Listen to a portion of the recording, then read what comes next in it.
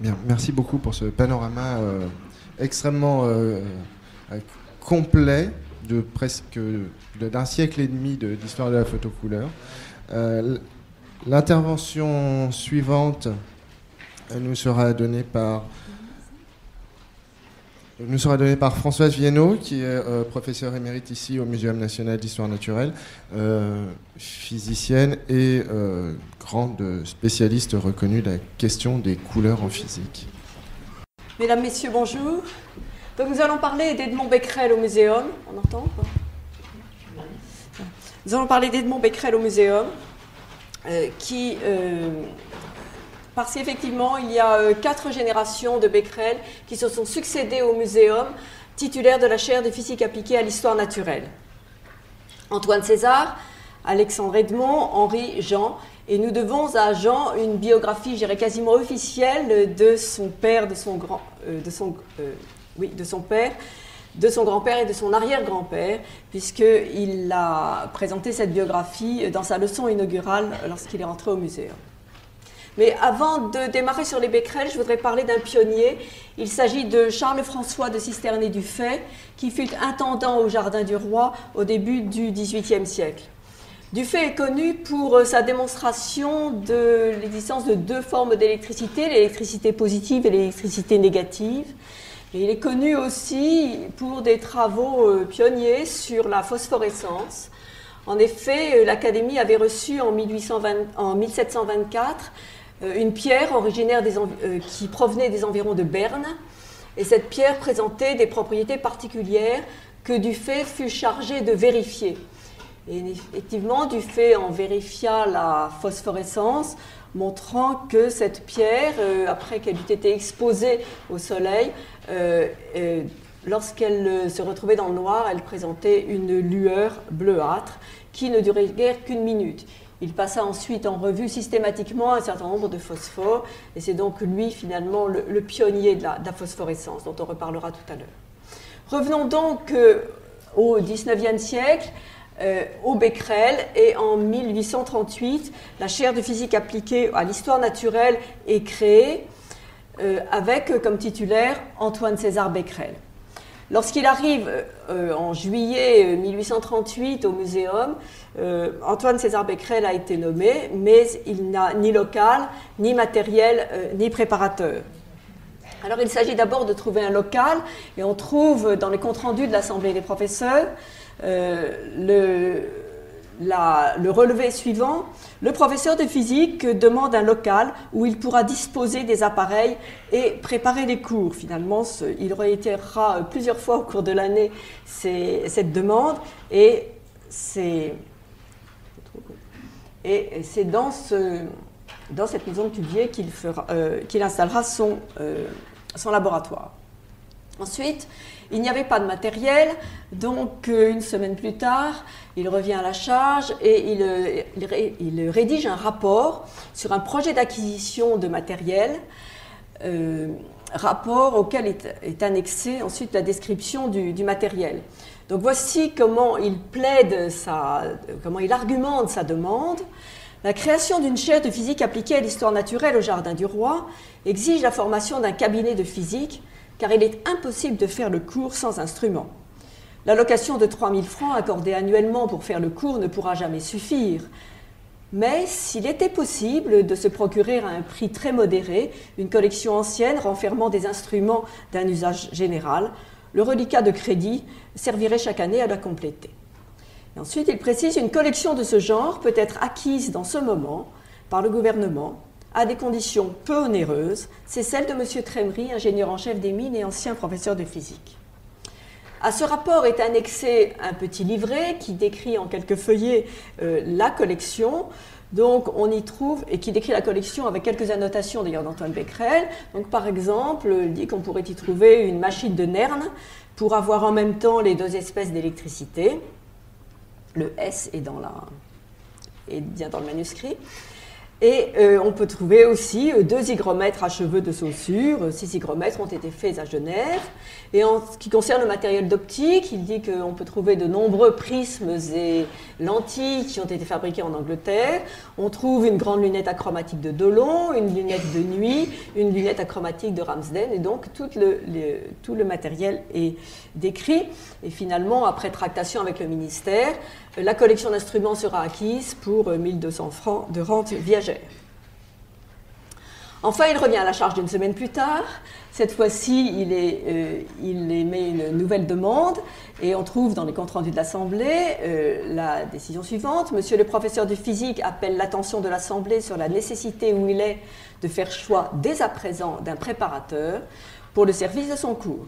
On décide que le traitement de ce préparateur sera de 1200 francs et qu'il partira du 1er janvier 1839. Monsieur le professeur de physique propose comme préparateur son fils, monsieur Alexandre Edmond Becquerel. La décision sera prise et sera euh, acceptée à l'unanimité euh, la semaine suivante. Donc Edmond Becquerel maintenant est euh, préparateur de son père. Il deviendra ensuite aide naturaliste, monté en grade en 1844. Et je vais rapidement parler de quelques travaux scientifiques d'Edmond Becquerel au muséum. Euh, le premier travail important, c'est celui de l'actinomètre électrochimique. Il s'agissait, comme il le dit ensuite dans ses ouvrages, de disposer d'un appareil qui donne l'indication de l'action chimique produite par la lumière sur une substance au moyen des courants électriques développés lors de cette réaction. En fait, ce travail vient dans la continuité du travail de son père, qui a développé euh, la pile à courant constant en 1836. Et le laboratoire dispose de galvanomètres très sensibles. Et comme vous l'a expliqué euh, Bertrand Lavédrine, euh, le procédé de Daguerre connaît un intérêt très, très grand parmi les scientifiques. Donc ce sont en fait des plaques daguerriennes qui vont être introduites dans cet appareil de mesure d'électricité. Euh, de l'électricité dégagée euh, lorsque la lumière frappe, euh, une plaque daguerrienne. On vous parlera longuement de la naissance de la photographie couleur, donc je, laisserai mes collègues en parler. Un autre travail important, à mon avis, c'est d'avoir démontré l'unicité du spectre visible et invisible. Effectivement, euh, il était possible d'observer, on savait depuis plusieurs années qu'il existait dans le spectre visible des raies obscures euh, et dans le spectre solaire. Et c'est grâce au procédé photographique que Edmond Becquerel a pu photographier ces raies invisibles dans l'ultraviolet, montrant qu'elles étaient également très nombreuses euh, dans cette partie ultraviolette du spectre qu'on ne voyait pas. Et ceci était une démonstration de, euh, l'unique, euh, de la constitution unique du spectre solaire dans le visible et dans l'invisible. c'est également ces raies de, ces raies de Fraunhofer, grâce à ces raies de Fraunhofer, que Becquerel a assisté Michel Eugène Chevreul pour spécifier les couleurs euh, de ces cercles chromatiques. Alors, Edmond Becquerel est essentiellement connu pour ses travaux sur la phosphorescence. dans la suite, donc dans la continuité de ce qu'avait fait Charles-François de Cisterne et Dufay, mais cette fois-ci d'une façon exhaustive, une étude exhaustive et quantitative, et euh, il y avait au muséum, dans la galerie de minéralogie, une bonne collection déjà de sels fluorescents. L'instrument qu'il a fabriqué est un instrument très astucieux, le phosphoroscope. Il est constitué de deux disques percés d'ouverture. Les deux ouvertures ne sont pas face à face. Et ces disques sont solidaires dans leur rotation. Et lorsqu'une défente passe devant la lumière, la substance fluorescente qui est entre les deux disques peut capter la lumière et lorsque l'autre fente qui n'est pas en face passe devant l'observateur, si la substance a fluorescé, je ne sais pas si on dire fluorescé, euh, l'observateur peut euh, observer euh, peut constater la fluorescence. Cet appareil est suffisamment sensible pour pouvoir mesurer les durées de séparation entre le temps, d'excitation et le temps d'observation au 40 millième de seconde. En 1863, euh, Edmond Becquerel est élu à l'Académie des sciences, trois ans après euh, Fizeau, Et il y a bien à cette époque, à ce moment-là, deux générations de Becquerel à l'Académie des sciences. Et je voudrais insister sur le fait qu'il y a dans l'entourage scientifique au musée, euh, de ces professeurs du muséum, il y a bien deux générations. La génération d'Antoine César Becquerel, avec euh, au muséum le chimiste Michel Eugène Chevreul, euh, à l'Académie François Arago et Jean-Baptiste Biot, à l'étranger Thomas Young et Joseph Fraunhofer, alors que dans la génération suivante, celle des, fils, hein, les collègues et les pères d'Edmond Becquerel sont au muséum euh, Edmond Frémy, euh, à l'Académie Jules Jamin, dont euh, Henri Becquerel épousera la fille, Hippolyte Fizeau, qui demandera que l'on mette à sa disposition le diamant jaune de la galerie de minéralogie pour pouvoir faire ses études de compressibilité, et à l'étranger, Maxwell et Helmholtz. Alors, je voudrais vous parler un petit peu de l'Assemblée des professeurs. Au muséum, dans cette institution, la vie est réglée par l'Assemblée des professeurs administrateurs. Et ceux-ci se réunissent toutes les semaines et euh, ensuite un peu les, tous les 15 jours, puis plus tard ce sera simplement tous les mois, pour régler euh, la vie quotidienne du, euh, au muséum. Alors, le travail principal consiste d'abord à accepter les dons et les legs euh, euh, d'objets et de spécimens qui vont, euh, remplir le cabinet d'histoire naturelle que vous voyez là au fond du jardin. Et on, accepte aussi les dons, les échanges, on échange des animaux, des spécimens, des animaux vivants, des ouvrages aussi. Et euh, l'Assemblée des professeurs a aussi à régler euh, des questions de gestion quotidienne, de gestion du personnel, par exemple, quand euh, les gardes réclament un jour de congé sur quatre, parce qu'il paraît que c'était l'habitude dans les, dans les autres institutions. Hein. Donc ça, c'est une partie du, travail. Il y a une longue correspondance dans, euh, ces comptes rendus de, l'Assemblée. Donc l'Assemblée élit son directeur, son, euh, son trésorier et euh, son secrétaire qui fera des comptes rendus. Donc on trouve beaucoup d'informations. Alors en fait, il y a au muséum deux types de professeurs. Je dirais les anciens, les, les fondateurs, qui sont des naturalistes. Et puis au XVIIIe siècle, eh bien, viennent on crée des chaires pour des expérimentalistes. Hein. Et donc, les, collègues les plus, les plus, directs des Becquerel sont euh, les, euh, les, chimistes, Chevreul et, Frémy, euh, les minéralogistes, et puis éventuellement d'autres collègues qui arriveront plus tard. Alors, une, dans cette dans le travail qui est confié, enfin dans les, charges plutôt, de l'Assemblée euh, des professeurs administrateurs, il y a évidemment toute la correspondance avec, et les tractations avec le ministère. Le ministère d'abord surveille très étroitement l'enseignement. Hein. Euh, chaque fois qu'un professeur se fait suppléer, euh, la proposition doit être, en, être faite auprès du, ministère qui doit l'accepter. Hein.